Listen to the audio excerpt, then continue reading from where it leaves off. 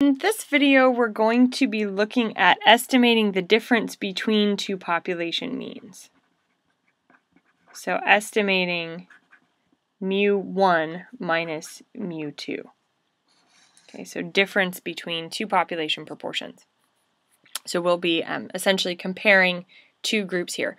There'll also be a video looking at estimating the difference between um, two population proportions rather than two population means. Okay, so here we're estimating the difference between two population means. If we're estimating the difference between two population proportions, there's a separate video on that. So the method that we're going to look at here um, again has some conditions attached and there's also two different types of intervals that we can calculate here so we'll, we'll talk about all of that. Our conditions for inference here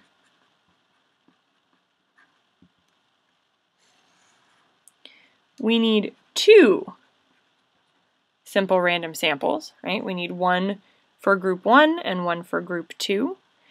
And those samples need to be independent.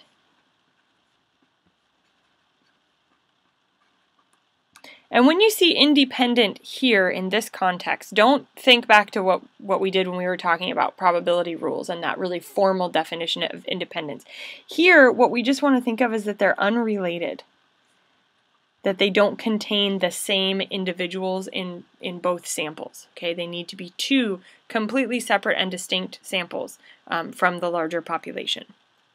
Okay, so samples need to be independent. There are methods for dealing with dependent samples. Those will be treated in a different section. They won't come up here. Okay, so two simple random samples. The samples need to be independent. We need um, to know that x1 and x2 are normally distributed, or we need the sample sizes to be greater than or equal to 30 for both groups.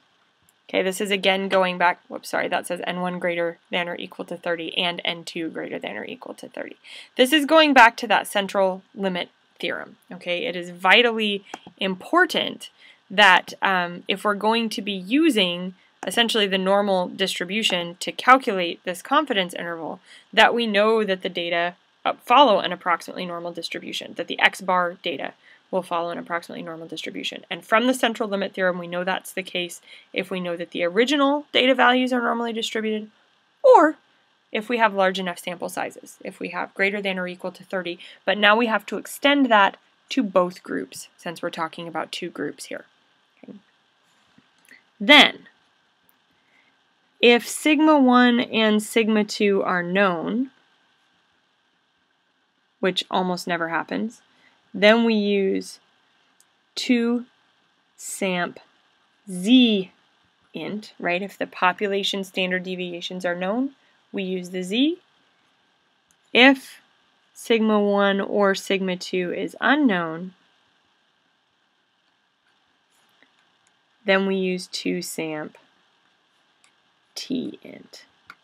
Okay, so these conditions need to be met, and then depending on whether or not we know the values for sigma, that determines which interval we use in the calculator. Do we use 2 samp z or 2 samp t?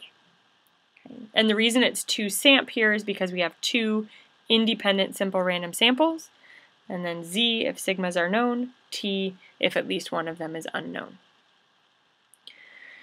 Again, you're welcome to look at the um, by hand formula for doing this kind of computation, um, but for the most part we'll just be doing this in the calculator using either 2SAMP-Z or 2SAMP-T. And uh, the interpretation piece here is a little bit more complicated, so that's really what I want to spend a lot of time in this video uh, talking about. So let me find my example. Here's an example dealing with the weights of pro football and pro basketball players. Okay, so for pro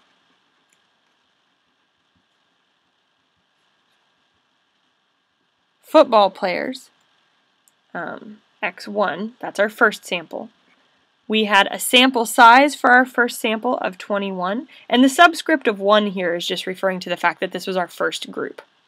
Okay, so we had 21 individuals in this first group of pro football players. their um, average weight in the sample. Oh, sorry, this is their weight. Weight of. Okay, the uh, average weight in the sample was 259.6, and that was in pounds. And the uh, standard deviation of the weights in the sample, notice that's the sample, is, let's see, um, 12.1 pounds. Okay. Then we had another sample that had the weight of pro basketball players.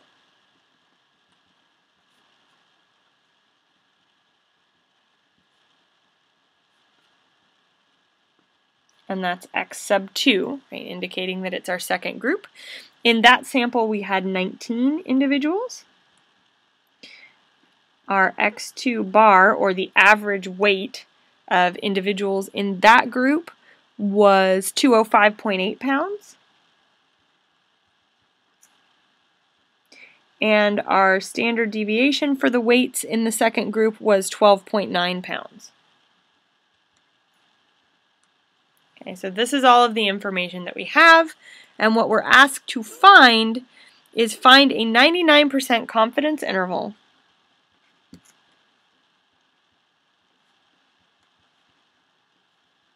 for the difference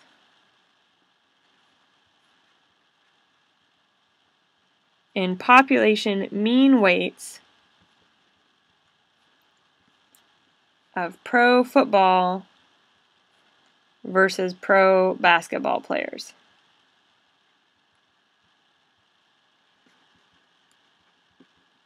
And what this is usually used for is to make a meaningful comparison between the two groups to figure out uh, which group has the larger mean or the smaller mean or if they're essentially roughly equivalent. So, um, here's what we got. Here's all of our data. We want to find a 99% confidence interval. First thing we want to do is go back up here and check our conditions for inference. So, do we have two simple random samples? Well, I didn't actually read this part of the problem to you, but it does start off by saying that these data come from independent random samples of professional football and basketball players. So, it stipulated that not only were they simple random samples, but also that the samples were independent.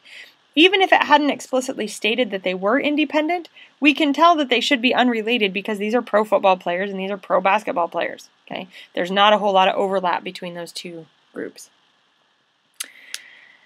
Then, um, oh, it also says in the problem to note that the uh, weight distributions are mound-shaped and symmetric. So that meets this normally distributed criterion, which means that we didn't need this part since it's an OR.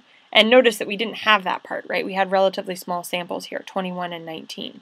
But it was stated that the weights are roughly normally distributed. And then nowhere in here were we given values for sigma, right? We have S. We have the sample standard deviations for both groups. We don't have the population standard deviations for both groups. So we're going to be using a 2samp t int here. Okay, 2samp t int. So in the calculator, here we go, we're going to do stat, all the way over to the right to tests, go down quite a ways, oh, there it is, 2samp t int. Remember not to select 2samp t test. It's a totally different thing. Okay, so select that. Then the calculator will ask you, do you have raw data or do you have stats? If you had raw data for both groups, you would have put them into two separate lists, list 1 and list 2. But that's not what we had here. We were given summary statistics. X1 bar was 259.6 pounds. Uh, SX1, that's our sample standard deviation for the first group, that's 12.1. Whoops, sorry, 12.1, not 2.1. There we go. And there were 21 individuals in that sample. For our second sample, X2 bar was 205.8. SX2 was 12.9. Our sample size was 19 for that sample. Confidence level, we were asked, I think, for a 99. Yep, 99. So we'll leave that there. And then it'll ask you this thing about pooling. um, pooling, generally speaking, it is safer not to pool. But there are some circumstances under which it makes sense to pool. And this actually is one of them. Um, pooling is what you would do if your sigmas were the same or close to the same. And here we don't have sigmas, but we do have S values. We have sample standard deviations. And if those are pretty close to one another, um, it's totally safe to pool. Here we've got one that's 12.1, here's 12.9. We could pool here, uh, but you can only do that if your standard deviations are relatively close to one another. Uh, again, it's always safe to not pool. It's actually a more conservative estimate, so you can just always select no here. But in this circumstance, I'm actually going to select yes since our um, standard deviations are so close together. And then we calculate. And it'll take your calculator a bit. It's going to have to chew on it. And then there's our values. So here's what we get out. We get 43.081, comma 64.519. Now, here's the thing that you have to be really careful of when you're interpreting these. Most people, when they see this, because we know that we're estimating the difference in population mean weights of pro football and pro basketball players, people tend to want to see this first part and go, oh, that goes with our first group, that's the pro football. This goes with our second group, that's the pro basketball. The problem is if you try to interpret that interval in that way, what you've ended up saying is that the average weight of pro football players is 43 pounds and the average weight of pro basketball players is 64 pounds. And I think we can all agree that that makes absolutely no logical sense. So that's not what this is quantifying. It's not talking about the two groups separately. It's comparing them. It's finding the difference in weights. So here's what we are actually saying here. We are 99% confident that the population mean weight of pro football players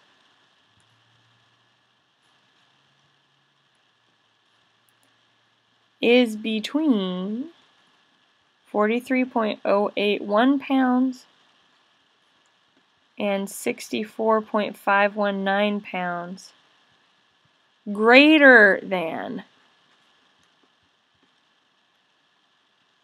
pro basketball players.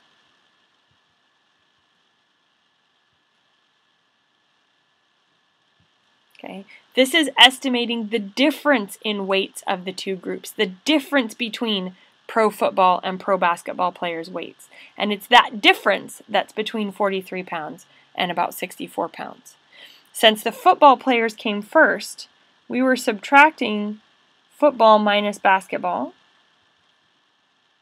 and the interval that we got out was entirely positive. So at our lowest estimate, the football players weighed more by about 43 pounds, and at the high end estimate, the football players still weighed more by about 64 pounds.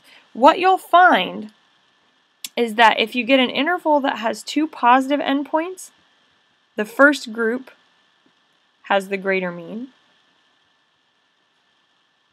and this will tell you how much by. If you get an interval that's all negative, that would have meant that the second group had the greater mean, because if we're subtracting and getting negative values, the second group must be the greater values. So second group has greater mean. And again, the numbers would tell you by how much. It is also possible to get an interval that ranges from negative to positive. So at the low end, the difference between the two groups is negative, indicating that the second group has the greater mean. And at the high end, the difference between the two groups is positive, indicating that the first group has the greater mean. Here, what we're really saying is that it's possible there's no difference between the two groups. We can't really say a whole lot useful about that other than it's possible there's no difference. Okay. So that's essentially how these break down. Very straightforward to calculate this in the calculator. The interpretation piece is really the confusing piece. Here's your three different cases and what they would mean. If we had had one where we had known both values for sigma, the only thing that would have been different is we would have used 2 samp z instead of 2 samp t.